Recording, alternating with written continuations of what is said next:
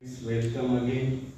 Now in this video I am going to discuss a very important expression that is the expression for maximum speed of vehicle on a bank road which is asked frequently in our board exam.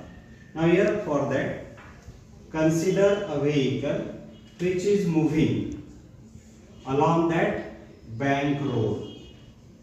So consider a vehicle moving on bank road. Now you have to consider the various physical quantities that are related to this expression. Let m that is the mass of vehicle, r radius of the car road, g acceleration due to gravity, theta angle of banking that is the angle made by this inclined surface with the horizontal surface. V be the maximum speed with which that vehicle move. and be the normal reaction to inclined surface and F be the force of friction. Now here you have to consider the different forces which are acting on that vehicle.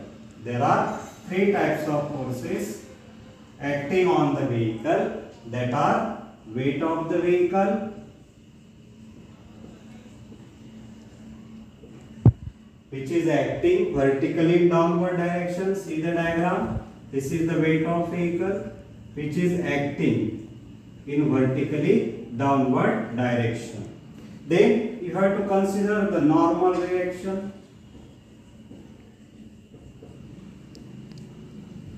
This one is a normal reaction, normal to the inclined surface AC.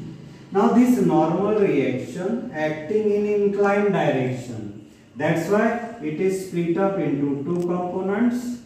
Here which that two components that is the n cos theta which is acting in vertically upward direction which is opposite to the weight and second one that is the n sine theta which is acted toward the center of that road.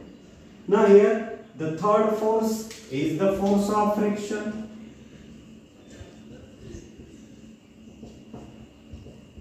Now this is the force which act between the surface of the road and the tires of the vehicle. Now this force also exists in inclined direction. That's why it is again divided into the two parts, two components. That is the here f sine theta and f cos theta. Now this f sine theta acted along the way and f cos theta is acted toward the center. Now from the figure we have to write very two important equation on the basis of which we generally derive this expression. Now let us consider the component which is acted in vertically upward direction that is the n cos theta. Now consider the components which are acting in downward direction. These are the two components that is f sine theta and weight. So I write here weight plus the component of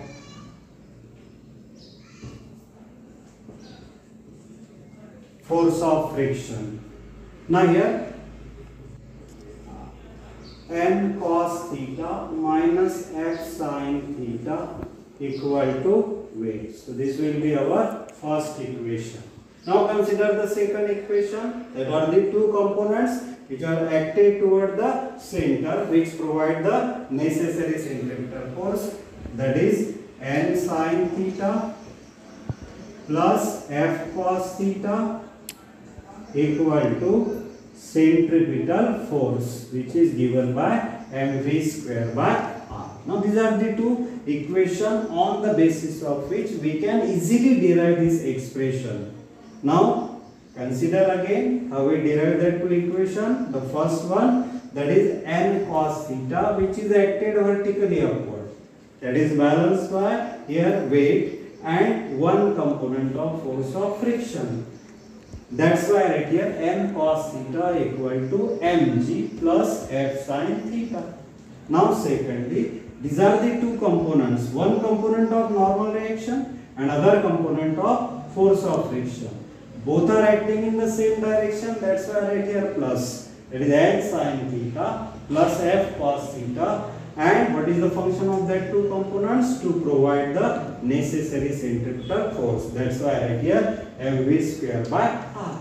Now simply make equation 2 by 1 equation 2 divided by 1 that is n sin theta plus f cos theta upon n cos theta minus f sin theta equal to this is mv square by r upon weight that is the mg.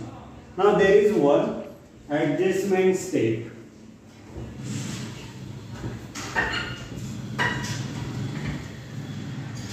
Now there is one adjustment step which is that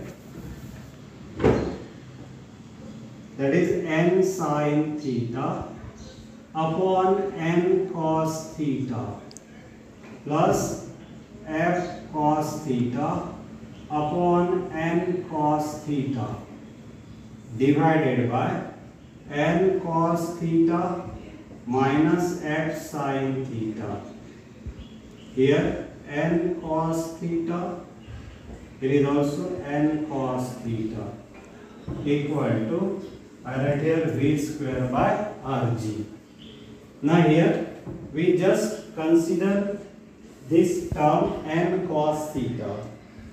By this term we divide every term of this equation. So that's why write here n sin theta upon n cos theta plus f cos theta upon n cos theta n cos theta upon n cos theta minus f sin theta upon n cos theta. Now simplifying the equation, we have tan theta plus now f by n is considered as a mu that is the coefficient of static friction. This n cos theta by n cos theta as a 1 f by n is again mu sine upon cos is tan equal to v square by rg. Now here by simplifying we have v equal to under root of rg in bracket mu plus tan theta upon one minus mu tan theta तो this is the expression for maximum speed of vehicle on a bank road now from the same expression we have to find the expression for angle of banking now we have v square equal to r g in banking mu plus tan theta while deriving the expression for angle of banking, it is assumed that this coefficient of static friction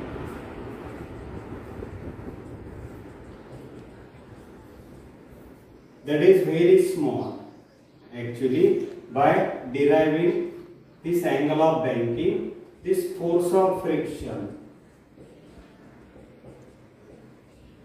is considered to be very small. So that's why neglecting this mu, we have v square equal to rg in bracket that is tan theta.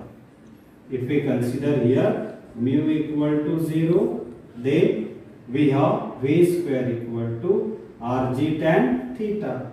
So here v square upon rg equal to tan theta and therefore theta equal to tan inverse v square by rg. So this is the required expression for angle of banking of a vehicle when it move on a bank road. Now sometimes factors on which that angle of banking depend that can be asked so which can be easily remember by considering this that is theta equal to tan inverse v square by rg so you will be clearly observe here It depend upon three factor V, R and the G where V is the maximum speed of vehicle, R is the radius of curve and G is the acceleration due to gravity.